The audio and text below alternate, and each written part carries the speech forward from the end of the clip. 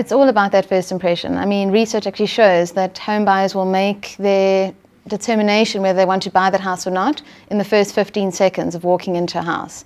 Now in South Africa, we don't have, you know, these large open expanses in front of our homes where you can actually see the house as you drive up like they do in other countries.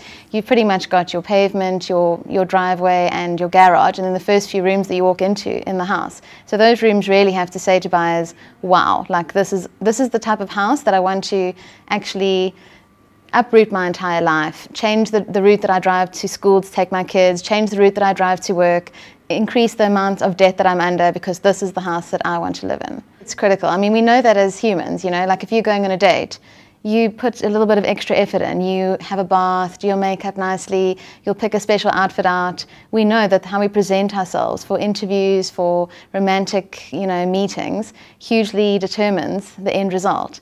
And I think in the home market, we haven't really understood that yet. So we love our houses, and in fact, we can't even see what's wrong with our houses anymore because we're so used to that. You know, you're used to seeing your packet of whatever recycled eggshells in your kitchen. So you don't even think, hold on, that's actually, maybe I should take that away for the show day. So what staging really does is it presents your home in a way that, you know, someone's going to walk in and go, oh I'm aware this is amazing for, for me and for many buyers versus just amazing for you as the homeowner.